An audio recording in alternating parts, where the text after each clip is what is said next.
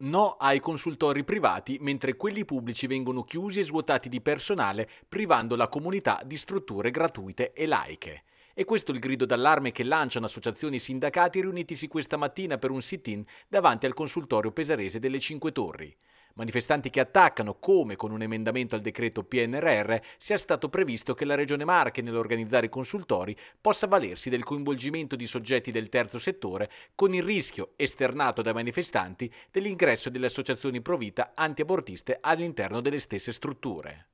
E dopo 30 anni dobbiamo ricominciare quasi una battaglia per la quale tante donne in tutto il paese si erano, eh, si erano spese, perché eh, la battaglia per, per, per, la possibilità di usufruire di una legge è una battaglia eh, che, che tante donne hanno compiuto decenni fa. Tornare oggi a ridiscutere questo ci sembra veramente un, eh, in qualche modo un disconoscimento delle battaglie che tante donne hanno fatto.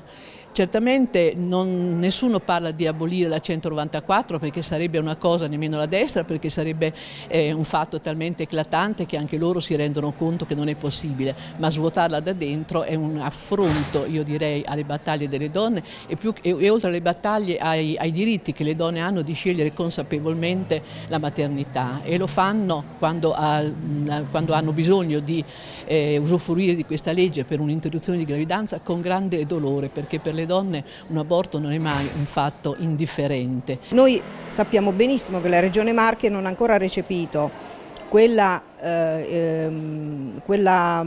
quel provvedimento ministeriale del 2020 dove eh, diceva alle regioni che eh, dovevano eh, introdurre non solo l'aborto eh, chirurgico ma anche l'aborto farmacologico con la RU 486. Ecco, questo per noi vuol dire impedire alle donne di accedere a un servizio che anche eh, la medicina oggi ha migliorato non eh, facendole andare nei, nelle sale operatorie per fare l'interruzione volontaria di gravidanza, ma attraverso un, un farmaco somministrato con delle previsioni dire, ministeriali, perché eh, mentre in Francia ad esempio l'RU 486 viene assunta addirittura a casa, in Italia è previsto che sia somministrata in ospedale, ma va bene, va bene anche questo, l'importante è che sia un, un, un farmaco che sia a disposizione eh, dei, dei, consultori, degli ospedali. Il consultorio è il luogo